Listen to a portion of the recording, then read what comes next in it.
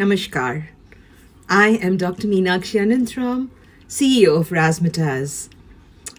My company is an almost 30 year old footprint in the event industry in India and one of the pioneering companies in events.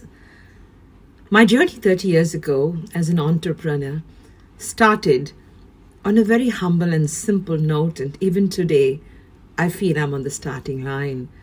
But over the last 30 years, more than 6,000 prime events have been done by me and my company, and we have had the honor of having staged a number of great artists and celebrities.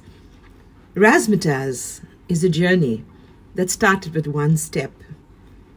With a small room in my house, rocking my cradles and my babies together, I put together this company. At a time when people did not understand what event management was about. Equipped with my doctorate in parasitology and my keen interest in staging life as an event, I started a simple journey.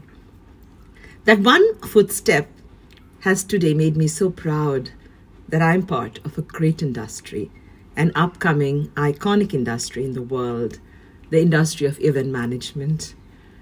Basically, I'm a scientist, a poet, a writer.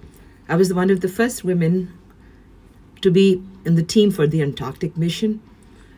I was in the Indian handball squad.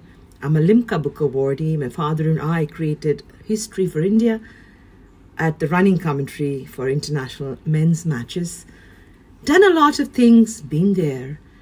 But the most important place I like to be is in the razzle dazzle of Razzmatazz. Recently, I've also become a top selling author and uh, Amazon bestseller for my book Mariposa. We lost a child a few years ago to cancer, and my husband and I run an NGO in the memory of Rohit. Anantram and I are India's first palliative care medical clowns.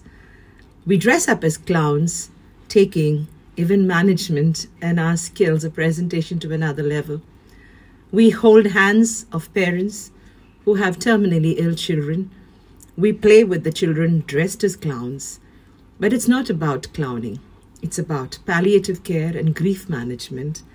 Today, both of us find ourselves on the stage of life, holding hearts and hands.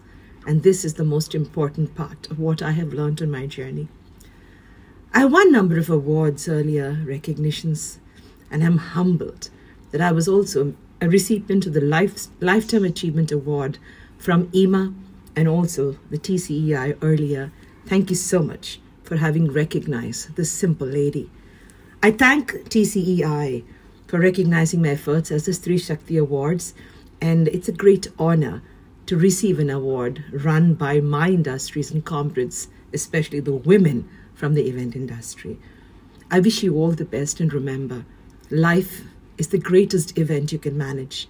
Razz it up because you are always in the limelight. God bless you all. Thank you so much. And I wish that women take the seat at the table at every time. Thank you so much, ladies.